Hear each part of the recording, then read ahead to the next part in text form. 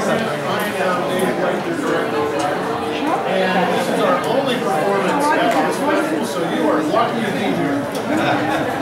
And we're going to start off our set with a chart called Always Bacon and Eggs by Elliot Deutsch. And it's going to feature Jeff Sands tenor sax, Erica alto sax, and Mike on trumpet.